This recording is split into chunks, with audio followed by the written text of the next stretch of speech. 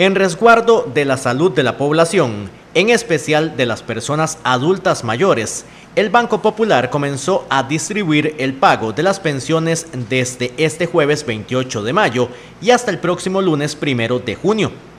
Durante esos días, los clientes pensionados podrán acceder a sus recursos por medio de la app, tarjetas de débito, web, cajeros automáticos o puntos de venta del Banco Popular.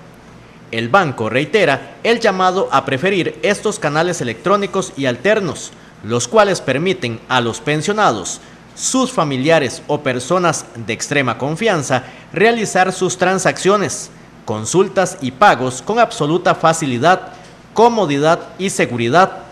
evitando ante todo tener que salir de su hogar, lo cual es de suma importancia en la actual emergencia por el COVID-19. El banco dará una atención diferenciada en grupos divididos en función de su apellido para su mayor agilidad. El grupo 2 le corresponde este viernes 29 de mayo. El primer apellido inicie con letras de la H a la M.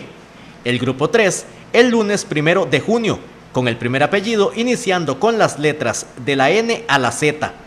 Siguiendo los lineamientos de las autoridades de salud, el banco mantendrá, al igual que en meses anteriores, un protocolo de atención especial como parte de su programa MAPAM, que es el modelo de atención de la persona adulta mayor, el cual contempla medidas de resguardo, horarios exclusivos, limpieza, seguridad, acompañamiento, manejo de filas, administración de salones de atención al 50%.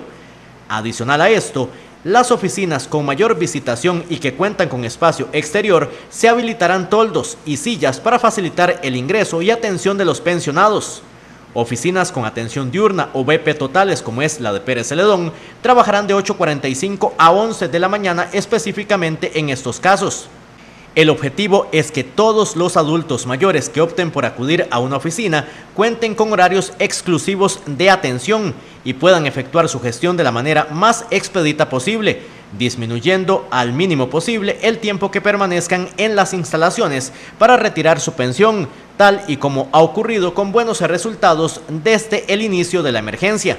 Las personas pensionadas y clientes en general deben tener presente que en medio de la actual situación de pandemia, los días sábados y domingos las oficinas comerciales del banco, así como los cajeros de atención remota y autobanco, se encuentran cerrados.